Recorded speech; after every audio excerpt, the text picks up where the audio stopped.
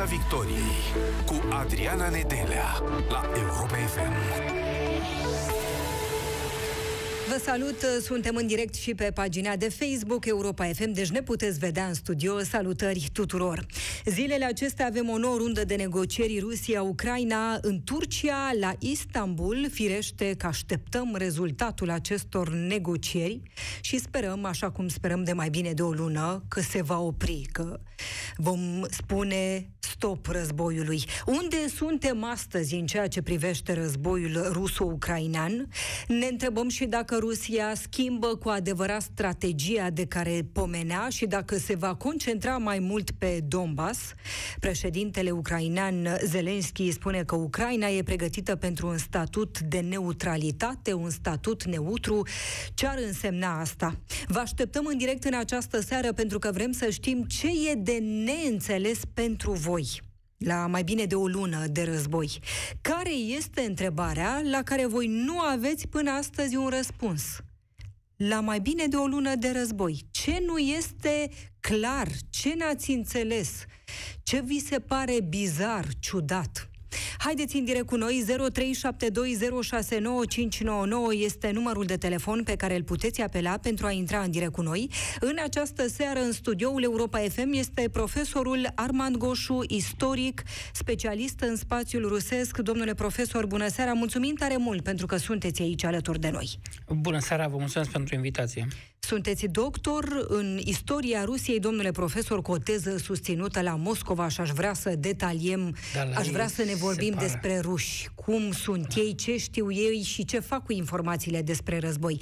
Dar pentru început, vreau să ne explicați unde suntem, domnule profesor, acum, la ora la care vorbim.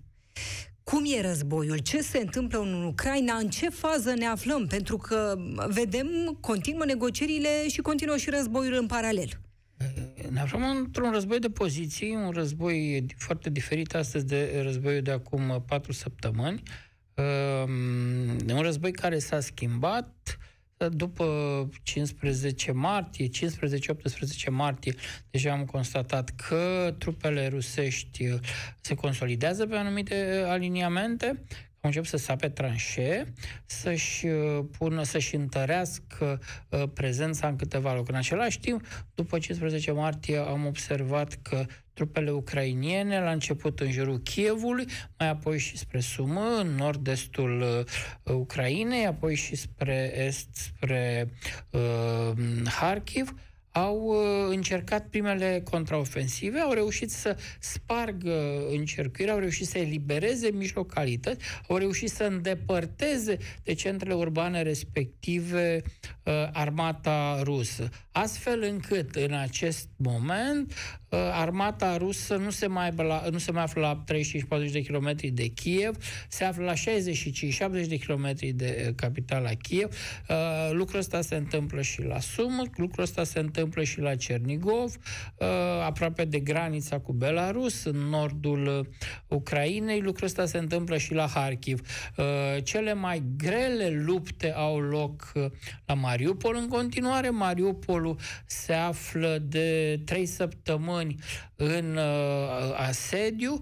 Practic, de două săptămâni, Mariupolul este supus unor bombardamente, sau așa numitele covoare de bombe ale aviației rusești practic e șters de pe fața pământului orașul. Este o catastrofă umanitară de proporții. Din oraș de 400.000 de locuitori au plecat 200, 200 și ceva de mii. În acest moment ar, se presupune că în Mariupol ar mai fi 150 de mii. Este o dramă pentru că s-au creat niște uh, coridoare, așa numitele coridoare verzi, coridoarele umanitare, dar nu s-au creat uh, uh, populația civilă care a fost lăsată să se retragă din oraș. Nu a plecat spre zonele controlate de ucrainieni, ci a fost trimisă în Rusia, sunt cordoane, uh, sunt, uh, pe aceste culoare umanitare au fost uh, coloane de mașini care au fost blocate, au fost deturnate și se află în Rusia în acest moment, inclusiv aici e greu de confirmat, încă nu știm unde sunt, Asta e un grup de copii. Ce se întâmplă? E un grup de copii care cu au fost aceștia? despărțiți de părinți și care au fost uh, duși în Rusia, iar pe teritoriul Rusiei, în mai multe localități, au fost uh, împrăștiați oameni care provin din uh, Mariupol. Și ce urmează pentru acești oameni, domnule profesor? Uh, ei n-au cum Odată să fie... ajungi și în Rusia. Nu au cum să fie protejați, ei nu au uh, acte cu ei, nu există consuli ucrainieni în localitățile respective pentru a intra în contact cu ei și a-i proteja. Deci, într-un fel, sunt fără să fie oficial prizonieri de război, uh, e o populație, uh, cum să spun, de fapt, care a încăput pe mâna ocupantului rus, care s-ar putea la un moment dat să încerce să-i folosească ca monedă de schimb Negociere. în niște schimburi mai târzii de populație, nu știu, sau cum spuneți dumneavoastră, de negociere. Putem spune că odată ajunși acolo, nimeni nu mai știe nimic de ei. Uh, mai se știu niște, pentru că intră în contact uh, prin uh, rețele sociale cu rude, cu prieteni cunoscuți sau sunt rude, prieteni cunoscuți care depun mărturie, da, au fost uh, trimiși în anumite părți ale... Deci, repet, unii sunt la Omsk, alții sunt uh, la Varoneș, alții sunt în regiune, deci în apropierea graniței cu Ucraina. Uh, iar cei mai mulți nu se știe, pentru că sunt persoane în vârstă care nu știu să utilizeze internetul sau... Uh, și, în general, sunt izolați aceste grupuri care provin din Mariupol. S-a observat că sunt, uh, sunt sparte, nu sunt lăsați să locuiască împreună, sunt izolați, sunt uh, printre ruși, ca, mm, cum să spun, să nu uh, se formeze un corp uh, uh, străin în mijlocul rușilor, să nu înceapă, de pildă, să transmită informații despre ce se petrece în realitate în, uh, în Ucraina. Ce fac rușii, domnule profesor, cu informația pe care o au despre Păi, războiul din Ucraina? Rușii nu au informație de, de, corectă despre războiul din Ucraina. Media rusească este controlată. E o lege aprobată care a fost promulgată acum 3 săptămâni. Poți să primești 15 ani de închisoare doar dacă șeruiești niște știri sau le pui pe pagina ta sau pe, pe, pe telefonul tău, pe aceste softuri de relații uh, de, de, de sociale, uh, poți să primești 15 ani de închisoare. Ori în acest moment, a, uh, gândiți la metrou, uh, sunt uh, polițiști care își cer telefonul. Tu ești obligat să le dai telefonul, ei își cer parola și uh, se uită în telefonul tău uh, ce uh, știri, ce discuții particulare cu cine ai. Și dacă sunt discuții politice, poți să ajungi la secția de poliție și să inițieze anchetă împotriva ta cu riscul de dosar penal. Deja s-au pronunțat săptămâna trecută primele condamnări pe această nouă legislație, iar astăzi o veste foarte tristă. Uh, redacția Nova uh, Gazeta, deci ultima publicație cu uh, Muraviov, cu laureatul premiului Nobel pentru uh, pace, uh, s-a anunțat că își suspendă apariția, a primit uh, a doua atenționare din partea autorităților, la a treia atenționare desfințată și au decis să-și suspende activitatea și pe site și să nu mai apară în print uh, până la sfârșitul, cum se numește, operațiunea specială. Deci în Rusia nu e un război, e o operațiune specială. Acum, informațiile sunt destul... Inițial s-a spus că uh, e o operațiune specială care se desfășoară doar în estul mm-hmm. uh, Ucrainei, doar în Donbass, doar în regiunile Donetsk și Lugansk. Și ca prin acea operațiune specială, Rusia urmărește să elibereze, să apere pe etnicii ruși din acele republici fantomatice, separatiste, care chipurile ar, ar fi fost supuși unui genocid din partea autorităților ucrainiene, după care s-a spus că au intrat rușii acolo ca să elibereze restul teritoriului acelor republici. Deci, republicile separatiste ocupau doar o treime din teritoriul uh, administrativ uh, Donetsk și uh, Lugansk. Problema este că rușii sunt acolo deci de 33, 32, 33 de zile și n-au reușit nici până astăzi să elibereze ghilimele de rigoare, acele uh, zone, acele oblasti, acele regiuni, uh, Donetsk uh, și Lugansk. De ce? Pentru că cea mai mare parte a trupelor rusești au fost concentrate fie să atace dinspre nord, dinspre Belarus, uh, Kievul, fie dinspre sud, dinspre Crimea, să forțeze uh, în direcția vest spre Nicolaev, spre nord să ajungă la uh, fluviul Nipru și să reintroducă, să redeschidă uh, canalul de uh, apă uh, pe, pentru Crimea, pentru că Crimea se transformă în deșert, iar spre est să lege practic Crimea de uh, prin Berdiansk cu uh, Rusia, cu Federația Rusă, să creeze acel culoar pe uscat, pentru că doar podul care lega deasupra strâmtorii Kerci Crimea de Rusia era insuficient pentru a transporta arme, muniție, de a transporta apă da. și de a, uh, cum să spun, de a da uh, viață economică, uh, nu doar militară, peninsulei Crimea. Ori se pare că nici măcar acest culoar Uh, care se lege Crimea de uh, Rostov pe Don, de Federația Rusă. Nu e o treabă foarte simplă pentru Rusia. Am vorbit despre acest lucru în 2014, dacă vă amintiți, după anexarea Crimei, de vreme ce ei nu reușesc, rușii nu reușesc după trei săptămâni sau peste trei săptămâni de asediu să ocupe Mariupolul. Dar credeți în strategia asta de concentrare mai mult pe Donbass? Uh, nu, pur și simplu, uh, Asta ține de PR, de uh, propagandă și uh, dacă vă uitați, în, întotdeauna o să, o, să, o să observați la ruși că ei nu spun care e obiectivul lor tactic. Ei nu spun, domnule, mergem în uh, Ucraina ca să îl dăm jos pe Zelenski, ca să ocupăm Kievul. În primele săptămâni nu s-a spus că trupe ruse sunt la Kiev spectatorul rusul de rând credea că trupele ruse sunt în do- doar în estul Ucrainei. Și atunci, pentru ruși e foarte simplu, pentru conducerea de la Kremlin e foarte simplu, în funcție de ce se întâmplă pe teren, să schimbe, să spună că nu. Amintiți-vă, îi spun că au intrat ca să împiedice pe fasciștii ucrainieni să denazifice, să uh, Uh, cu niște, uh, care erau obiectivele. Acum vin și spun că nu mai sunt alea, de fapt sunt altele. Și Inițial, atunci o strategie pe care ar putea o folosi-o în negocierile astea de la Istanbul? Nu. nu cred că e o strategie. Până la urmă, uh, Putin realizează și establishmentul, cei din intimii lui Putin, realizează că e un dezastru care se profilează, ei n-au cum să nu realizeze lucrul ăsta, numai că evită să-i spună dezastrului pe nume și atunci ei se prefac pretinzând că își ating obiectivele.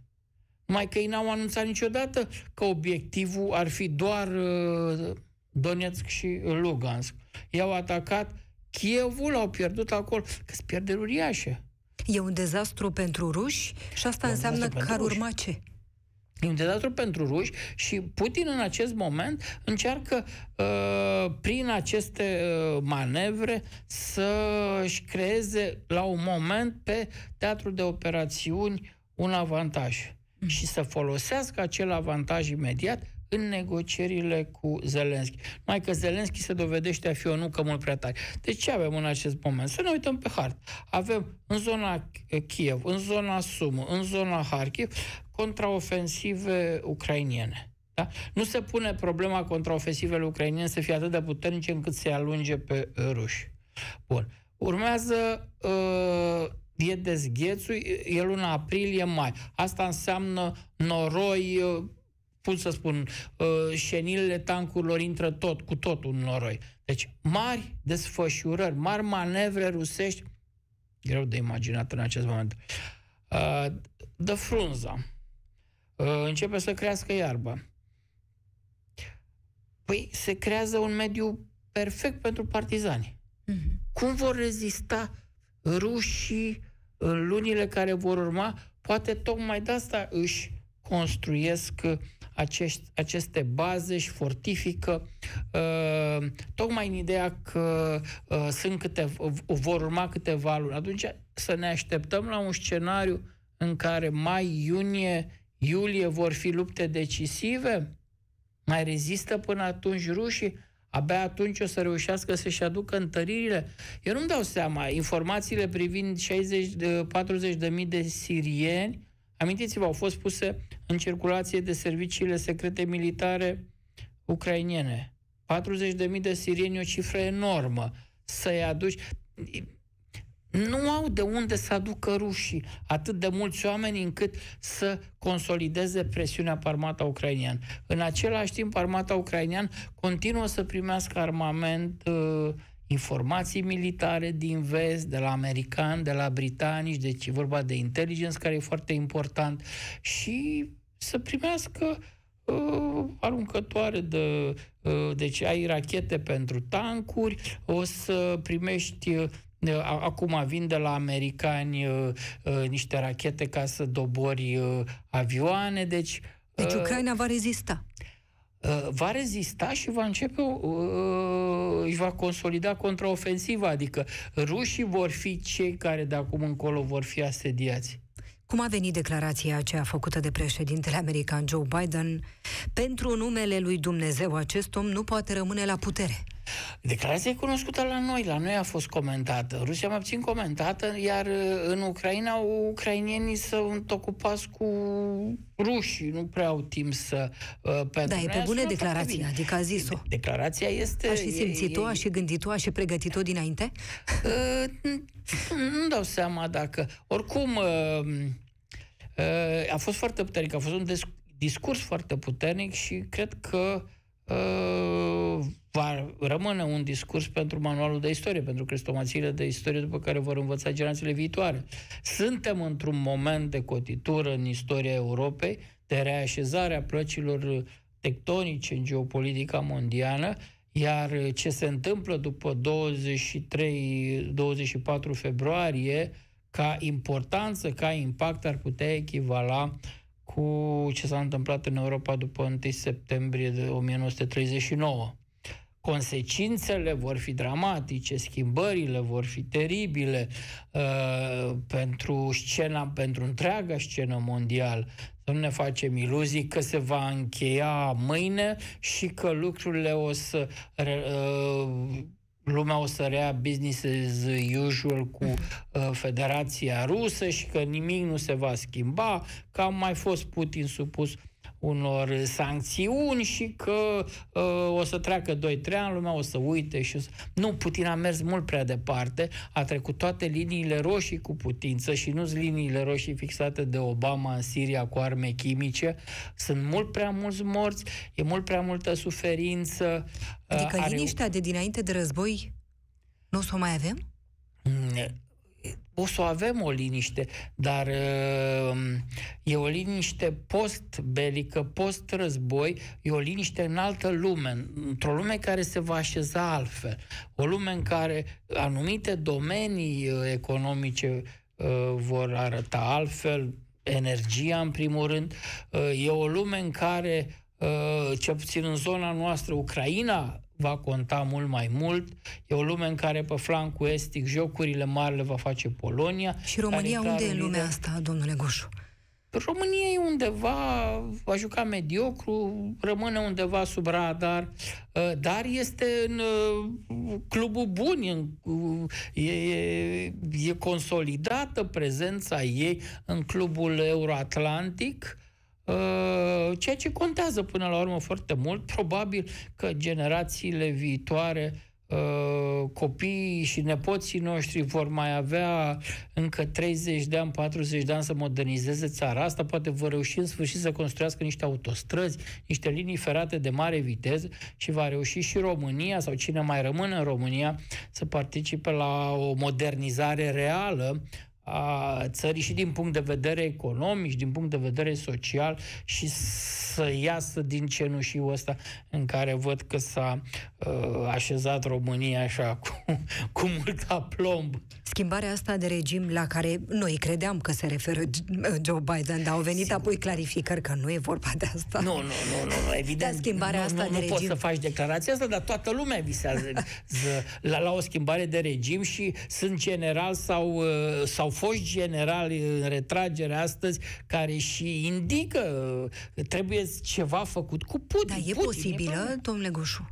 Eu cred că este posibil și eu cred că se și lucrează. Toată lumea despre asta vorbește. Care urmăresc posturile rusești, emisiunile rușilor fugari în diverse țări, uh, toată lumea despre asta discută. Fiecare zi, întrebarea care e pe buzele tuturor reporterilor e dacă elita politică de la Kremlin e fisurată, dacă o să apară un, uh, uh nu, un complot cine participă la acest complot, ce șanse mai sunt, nu, ca Putin să nu apuce săptămâna viitoare în fotoliul de la Kremlin. Deci, la rândul meu, au mai ajuns de câteva săptămâni să urmăresc deplasările avioanelor prezidențiale, avioanelor pe, prin, cu care se deplasează oficialii ruși, să văd unde se duc, unde aterizează, uh, unde sunt buncărele.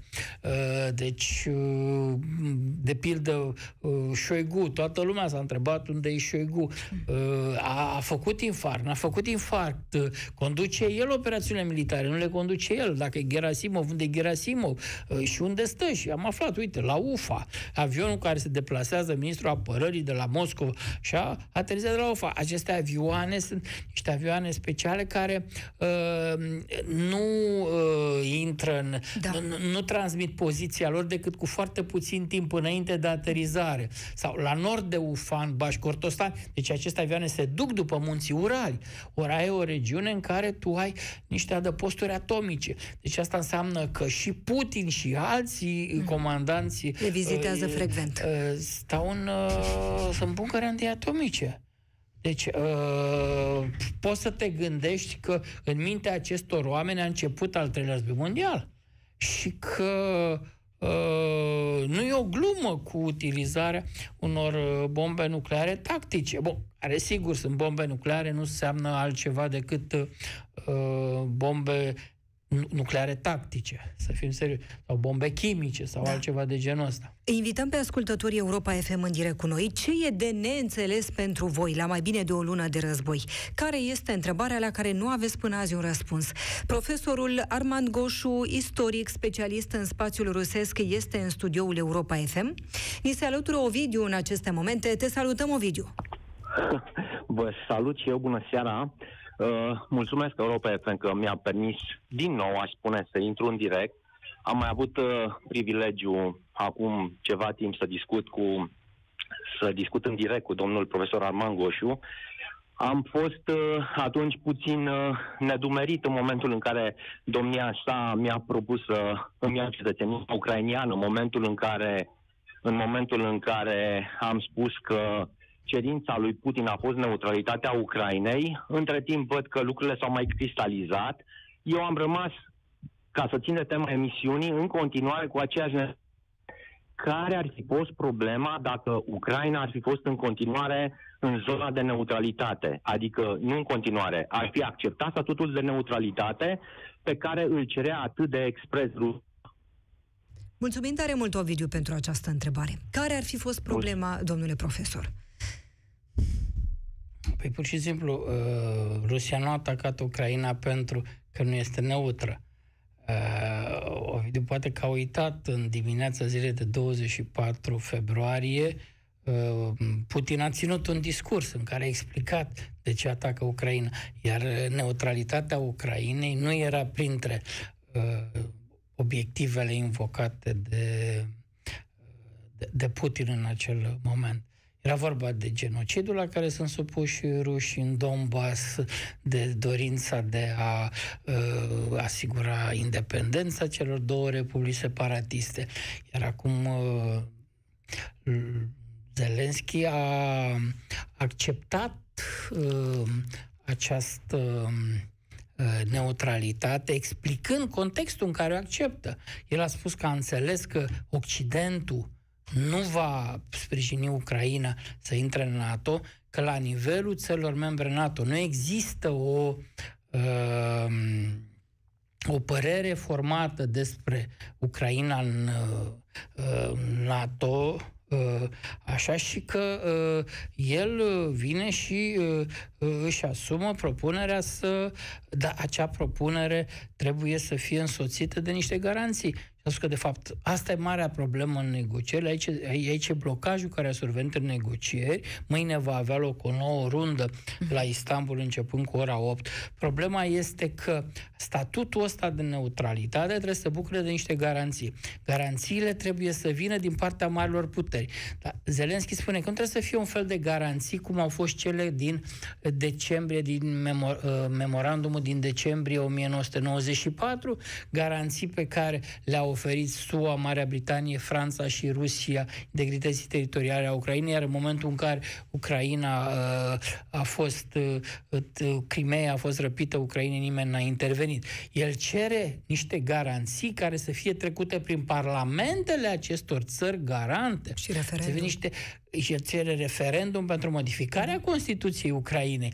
Deci e o procedură mult mai complicată, nu e o, Ă, nu stătea în puterea președintelui Zelenski să vină să spună, a, vreți? Și amintiți-vă, că neutralitatea Ucrainei n-a fost cerută lui Zelenski, ci a fost cerută statelor membre NATO ca să-și asume uh, că nu uh, se extind spre est.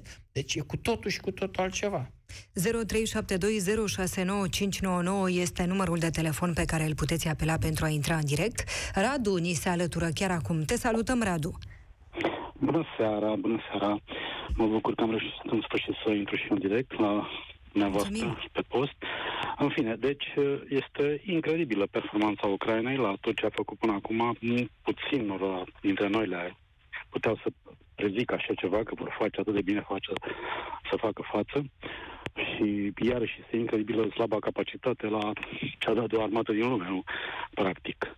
Uh, și gafele de proporții cu fel și fel de de slăbiciuni, autosabotarea comunicațiilor. Uh, probabil că, nu știu, este multă corupție la mijloc, lipsă de motivație în rândul armatei rusești, că altfel nu se poate explica. Uh, dar în același timp sunt totuși uimit de anumita, eu știu, necomunicare sau poate nu am reușit eu să prind, că totuși urmăresc știrile, uh, necomunicare reală a pierderilor ucrainilor din rândul armatei. Nu din, se comunică numai pierderi din rândul populației civile, care este jalnică, nu este, este ceva foarte, foarte trist ce se întâmplă cu populația civilă și, și criminalitatea armatei ruse față de populația civilă, dar nu vine să cred că totuși ucrainienii nu au și pierderi din rândul armatei. Uh, iar sunt um, foarte, foarte mirat că în fața, de exemplu, a staționării acelei coloane de 64 de kilometri, nu? S-a, o săptămână întreagă s-a, se arătau fotografii cu ea, uh, toate știrile pomeneau despre treaba asta și cum de nu puteau totuși cu, chiar cu dotarea de atunci, să, să-l ia salteze, nu? Cu rachete de umăr, cum era pe vremea armatei mele, nu? Acum 30 de ani. Deci, uh, niciun fel de mm, autocamion sau blindat sau tank din coloana aia nu, nu a fost distrus. Cum e posibil așa ceva? Deci, armata ucraineană unde era atunci? Ce făcea? Mulțumesc, cam atât am Mulțumim tare mult, Radu. Domnule Goșu.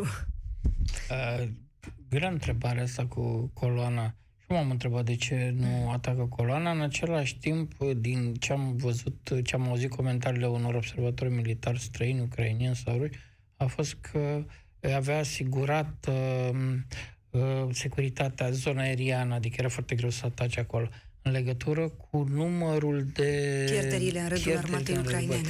E primul război în care pierderile uh, sunt anunțate de partea cealaltă, adică pierderile ucrainienilor sunt anunțate de ruși, pierderile rușilor sunt anunțate de ucrainieni aici.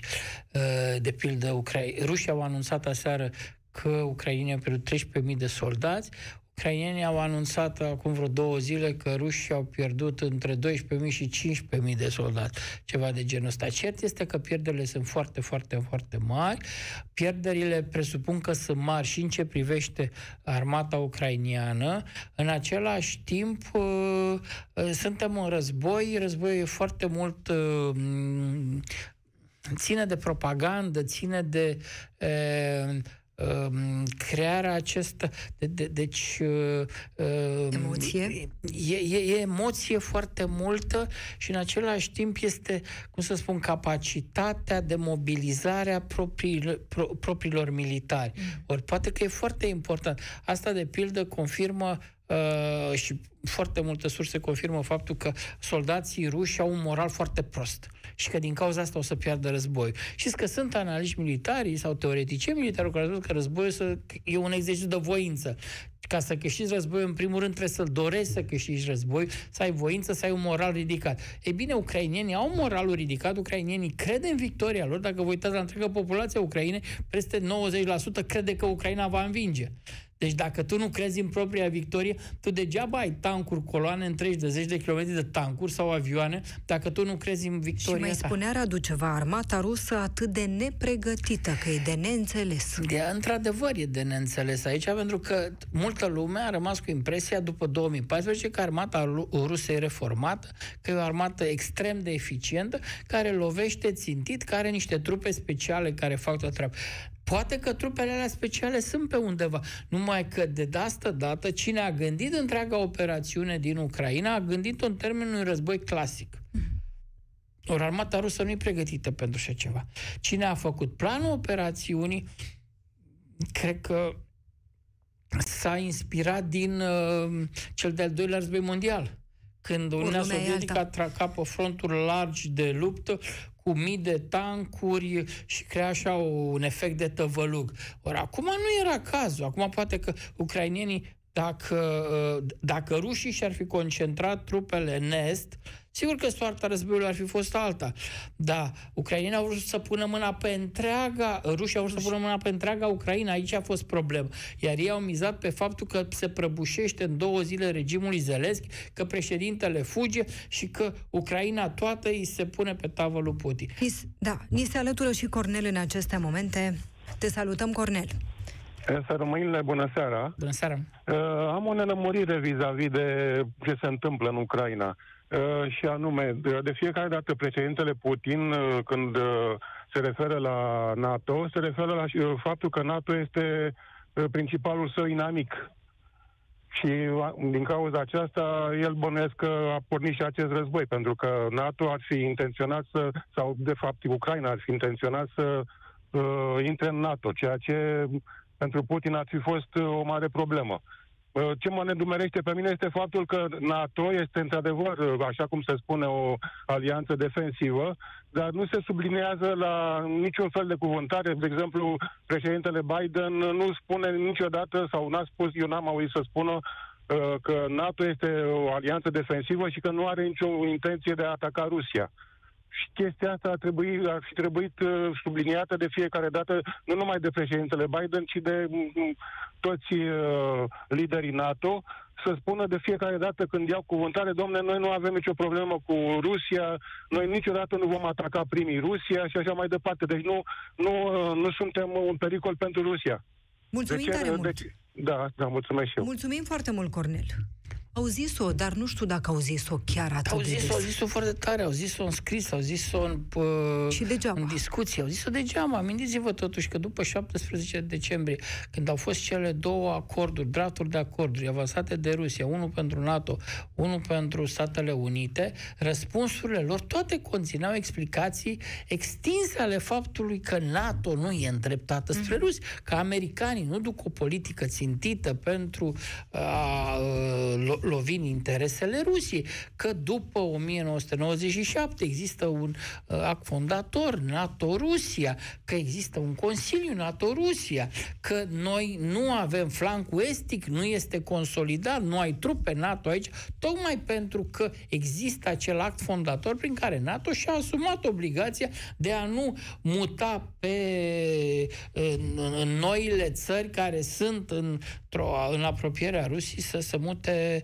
și de asta abia după uh, anexarea Crimei, după 2014 respectiv, uh, sau, uh, uh, sau niște forțe, dar oricum foarte mici, uh, uh, NATO au fost, uh, au fost mutate în Polonia, România și țările Baltice. Trei minute mai avem la dispoziție, domnule Goșu. Ce urmează? La ce să ne așteptăm? Să Cât ne mai durează, domnule Goșu? O să, dureze, o să dureze mult mai mult decât ne imaginam acum câteva săptămâni, când uh, uh Rusia nu părea că merge spre un război de rutine. Uh, Rusia a avut resurse mai mici decât ne puteam imagina pentru uh, acel uh, blitzkrieg care s-a format, s-a transformat după 3-4 zile într-o ofensivă. Uh, ofensiva, cât a fost ea de insistentă, nu a dus la câștiguri teritoriale foarte mari, la succes. Singurul oraș important pe care Rusia l-a câștigat, uh, capitală de regiune, a fost Hersonul. Hersonul unde au loc zilnic zilnic în ultima săptămână demonstrații împotriva prezenței militarilor ruși. Um, um, deci uh, vor, vor merge negocierile uh, uh, negociatorii vor aștepta uh, vor sta cu ochii pe teatru, pe teatru de operațiuni, să aștepte acolo ca cineva să lovească, să-și creeze un avantaj. Putin încearcă să repete isprava din 2014-2015, când a obligat Ucraina, l-a obligat pe Poroșenko să semneze acordurile de la Minsk, Minsk 1, Minsk 2, tocmai în urma unor înfrângeri. Deci, probabil că în acest moment strategii ruși se gândesc cum ar putea ei să atragă într-un clește și să prindă unități uh, mai mari, 10, 20, 30 de mii de oameni militari ucrainieni în estul Ucrainei, să le cadă în spate, să-i înconjoare și să-l oblige atunci pe Zelenski să încheie o astfel de... Deocamdată Zelenski uh, rezistă. Uh, rezistă. Uh, e foarte serios cu negocierile. Negocierile avansează destul de greu uh, și, practic, Putin are frontul din Ucraina, dar mare și frontul de acasă. El trebuie să, stea, să fie tot mai atent pe frontul de acasă ce se întâmplă, pentru că uh, o să crească nemulțumirea elitei, o să se spargă unitatea elitei și populația o să fie tot mai uh, nemulțumită. Asta nu înseamnă că mă aștept ca să cadă regimul Putin în urma unor mișcări de stradă, ci mai degrabă regimul să prăbușească în urma unor conspirații, uh, cum s-a întâmplat de nenumărate ori în istoria Rusiei. Mulțumim tare mult, domnule Goșu. Vă mai așteptăm în studioul Europa FM profesorul Armand Goșu, istoric, specialist în spațiul rusesc, în direct în emisiunea Piața Victoriei în această seară. Ne revedem săptămâna viitoare. Nu plecați, însă urmează știrile în doar câteva momente la Europa FM. Piața Victoriei cu Adriana Nedelea la Europa FM.